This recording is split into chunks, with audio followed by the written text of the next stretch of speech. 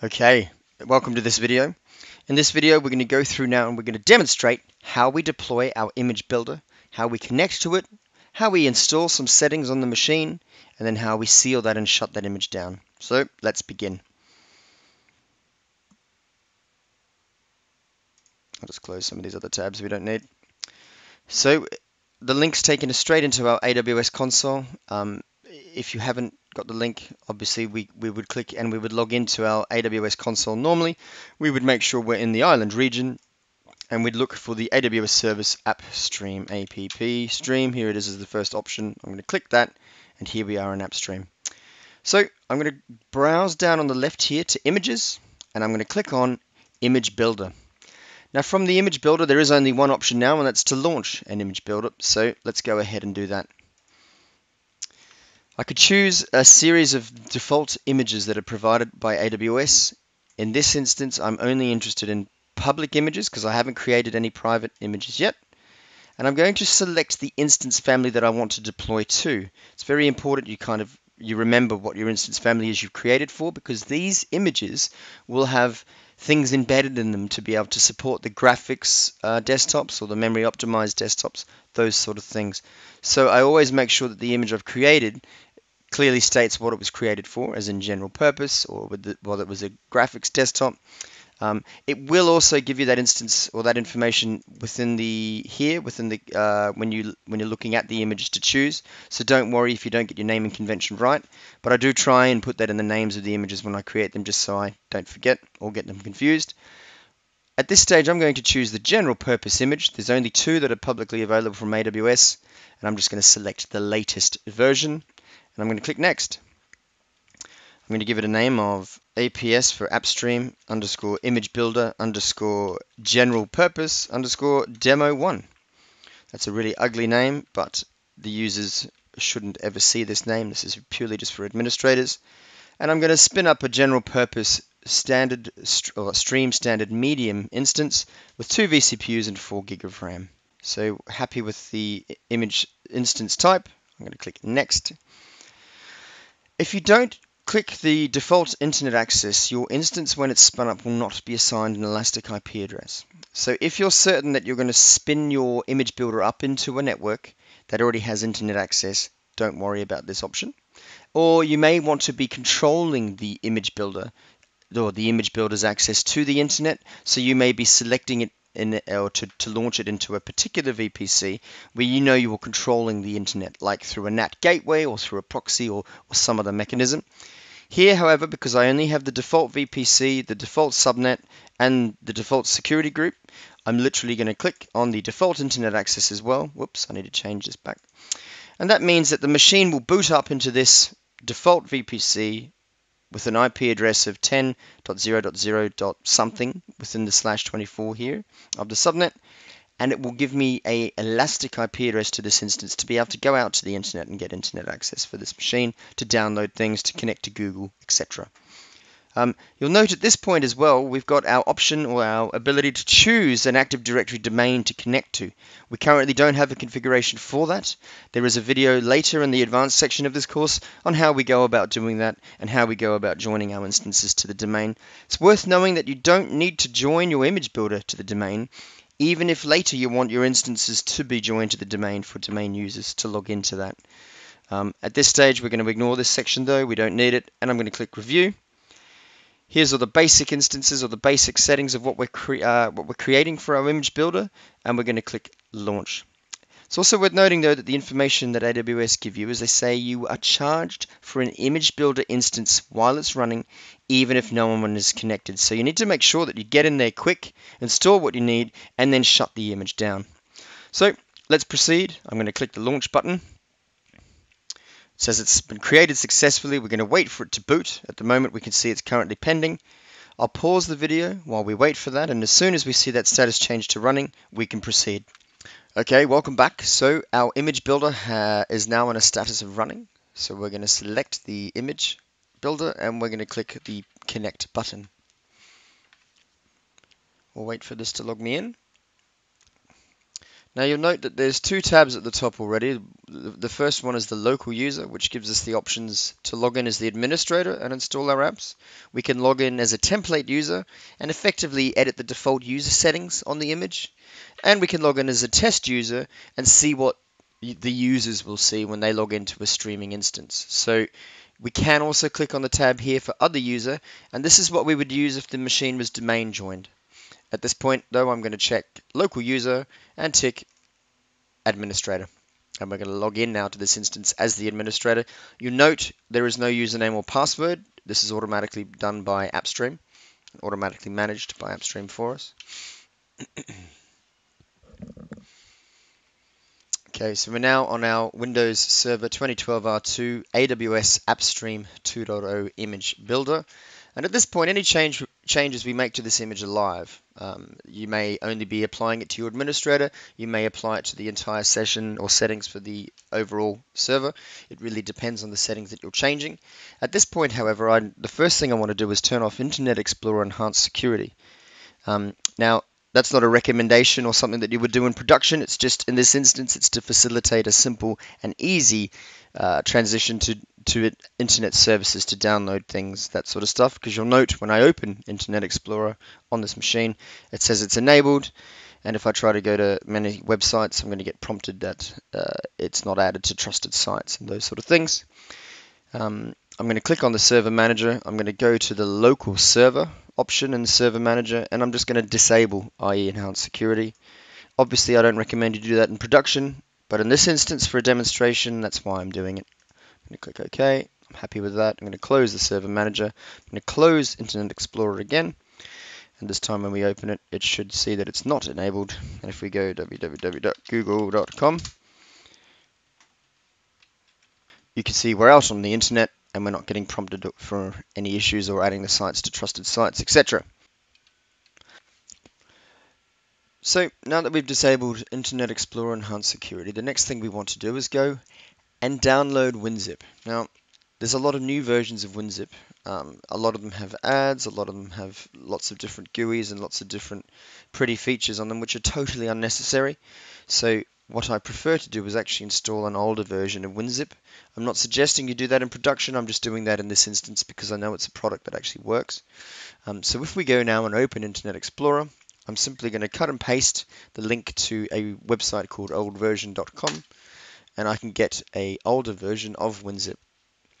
I'm going to download WinZip version 10 and not the version 22 that's currently out there um, which means that I don't really have to worry about this product trying to connect to the internet or ads or any of those sort of things as part of my image. And on this page I'm going to browse over the download now option. You'll note as the URL it shows in the bottom left there is it's still on oldversion.com and not this link here which is an ad. So I'm going to click on download now and I'm going to wait for the download to start. At this point, I'm just going to save this install into the downloads directory. I'm going to save WinZip there. The download's completed, and I'm just going to simply click Run now and close Internet Explorer. We're going to walk through the setup for WinZip 10. click OK. I am not going to install this garbage. click Continue. I'm going to click Next to the install wizard. I'm going to accept the license agreement and warranty. I'm going to click Next again. I'm going to stay with the start for WinZip Classic, that's fine. Literally going to keep clicking next, next, next, next until we can get out of this setup and have it installed for all users. You'll note it says it's an evaluation version, that's fine. I don't have a code or haven't bought WinZip. Happy that that's installed now, so we're going to go away and close that. So now that we've installed WinZip and we're happy with that configuration, the final step in this process is basically to publish uh, the applications via the image assistant and that exposes the applications from this image to the users so it gives them the option of the streaming apps that they're allowed to run as opposed to them just logging into a desktop and running whatever they felt like. So we're going to click on the add application here. I'm going to browse firstly for Internet Explorer which I know is in program files x86 Internet Explorer and I'm going to publish the, the shortcut iexplore.exe. I'm going to open that. I'll change the display name and this is what the users will see to Internet Explorer. Um, You can also add launch parameters. Here, for example, if I wanted to open a default web page, I could put www.google.com, or we could put microsoft.com, or we could also put mastersof.cloud as the launch parameters for so this would mean that when people go to launch this application it will open Internet Explorer and will open a tab to this web page. So happy with that. We're going to save that as the first option and then we'll go and add the next option which is WinZip. We can cheat a little bit in this instance. I'm going to go to the properties of the shortcut on the desktop. I'm going to cut and paste the target link here which takes me to the full path of the executable and we can add that here. I'm going to control V that into the file name, take the quotes out and click open. And you can see it's found it and it's added the shortcut there. I'm going to put WinZip, WinZip as the display name for the users. I'm not fussed about the actual name, which is an internal database thing for the image assistant. Happy that they're available, that's great. We could also then publish anything else we've got on the image now. So long as the executable is on the machine, we could publish Firefox or we could publish Calculator, all those sort of things. Happy that they're as they are, I'm going to click Next. Now at this point we can connect and run to the machine and run this as a template user, which means any of the settings we change, we're going to edit the default user profile. Um, I don't have any changes that we want to make to that, so we're going to leave that as it is. I'm simply going to click next to the test instead. And here we could switch from this user to the test user. And basically we emulate the experience of logging into this image as if we're a streaming user. So let's click switch user. I'm going to select the test user. And, and at this point I can see what the users will see when they go and open WinZip. So when they open WinZip, they will they won't actually get the desktop experience, but their application will look like this. I'm not going to enter a registration code. They will they will see all of this, so they need to click Use Evaluation Version, and WinZip should just open. So we know that the application is there. It is running in eval mode, but we don't really care about this for the demo. That's fine. Happy with that. We know that WinZip's okay, so I'm just going to go back to Switch User. And I go back to my administrator session I'm happy that this configuration is complete for this image, so we're going to click Next.